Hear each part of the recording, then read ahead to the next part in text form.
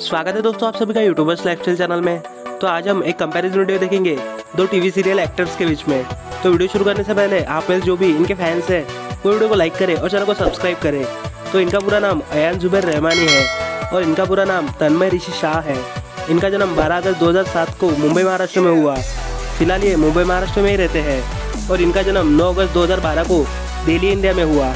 और फ़िलहाल ये मुंबई, महाराष्ट्र में रहते हैं। इनकी उम्र फ़िलहाल 2020 में 13 साल है और इनकी उम्र फ़िलहाल 2020 में 8 साल है। प्रोफेशन से ये एक एक्टर यूट्यूबर और टिकटॉकर है। और ये प्रोफेशन से एक एक्टर और स्टूडेंट है। इन्होंने इनका टेलीविज़न डेब्यू 2013 में जोधा अकबर टीवी सीरियल में किया और इन्होंने इनका टीवी सीरियल डेब्यू 2019 में ये रिश्ता क्या कहलाता है टीवी सीरियल में? एज अ कैरव करके किया।